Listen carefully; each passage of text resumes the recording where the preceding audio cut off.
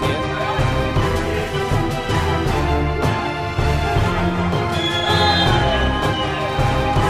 times out of ten, Zaitsev will go up and hit as hard as he can.